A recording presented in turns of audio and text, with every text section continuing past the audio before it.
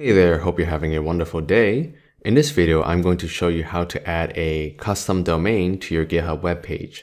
So here's my webpage, and if you don't know how to upload your own GitHub webpage, I have a video tutorial on that on my channel, which I'll link below in the video description. So here's my webpage, and I have a bunch of web tutorial projects uh, from my channel.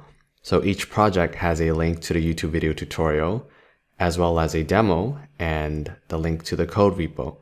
So if I click on Wordle, for example, you can see we have a fully functional project of Wordle. Okay. So instead of this link, which is my username.github.io, I want to add a custom domain, which would be kennyyipcoding.com. So to do that, I'm going to register for one. You can register for one on Google or GoDaddy or whichever domain provider you choose. For this tutorial, I'm going to use Google Domains. So just type in domains.google and you'll see this page. And for here, you can type in whatever domain you want. So let's say I want uh, a domain for my personal website. I would type in my first and last name.com and I'll click on get it. And you can see kennyip.com is already registered. And that is because this is my personal website. If it's already registered in your case, you can choose another domain ending such as .dev, .net, or .org, and there are other suggested domain endings.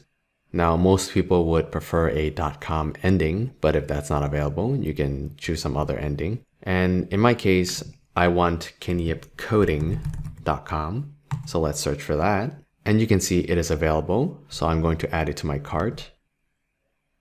And then I'll go to my cart and then standard procedure, just check out. So it's only $12 for one year, which is a dollar a month. So it's pretty cheap.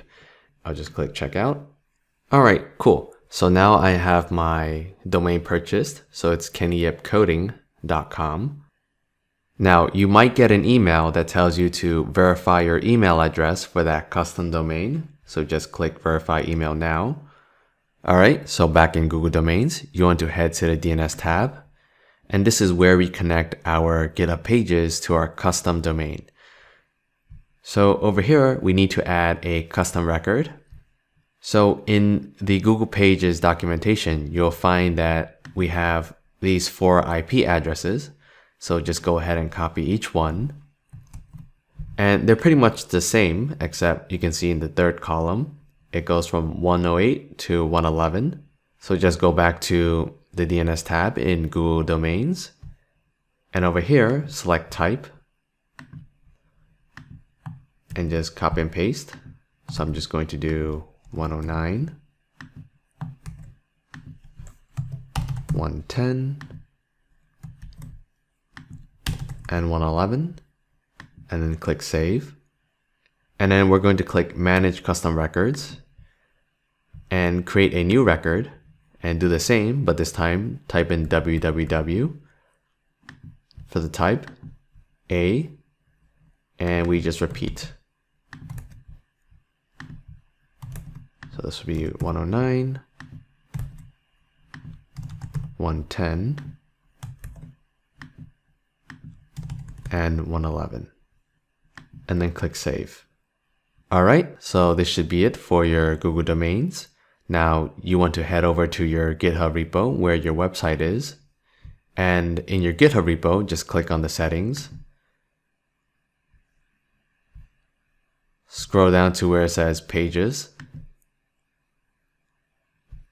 And over here, you see custom domain. Just type in your custom domain. So in my case, it'll be www kennyyipcoding.com. And then click Save.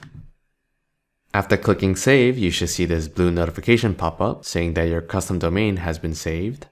On GitHub Pages, you'll see that it'll say your site is live at your custom domain. And if you scroll down to custom domain, you should see DNS check successful. Now, it won't say this right away. It might take 5 to 10 minutes just wait a bit and click check again.